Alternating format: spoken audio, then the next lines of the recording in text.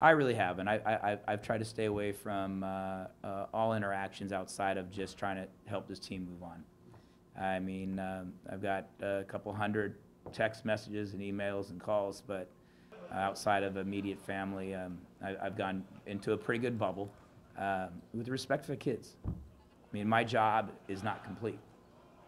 My job is here with those student athletes, and that's where I got to, you know, put it in there and say, hey, there'll be there'll plenty of time to return phone calls and emails and texts and reflect back on uh, 10 years. But at this point in time, I think it's it's it's it's all about Donovan Fields and Marcellus and Kuba and and, and the kids that uh, you know gave you your heart and soul, and you say, hey, let's give it back to them and let's extend the season.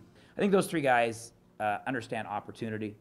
And it's, it's kind of uh, what the heartwarming part for me is just to see guys like that. And I think what they, what they're passing on is is hey, you know what? Don't don't take this for granted.